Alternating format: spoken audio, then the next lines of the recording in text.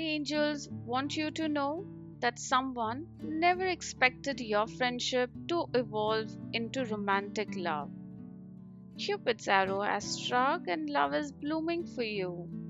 Your captivating presence and radiant aura have won over their heart, and they desire your care, affection, and friendship to be a permanent part of their life. In the days to come, anticipate a fresh start and the arrival of passionate love into your life. Embrace your desires and be courageous in pursuing love, as this connection has the potential for a lasting relationship.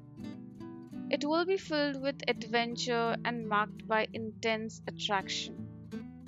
Your friendship will blossom into a more joyful, healthy bond, supporting each other through thick and thin. Affirm this my friendship has blossomed into an everlasting relationship with my person who loves me deeply. Thank you, angels.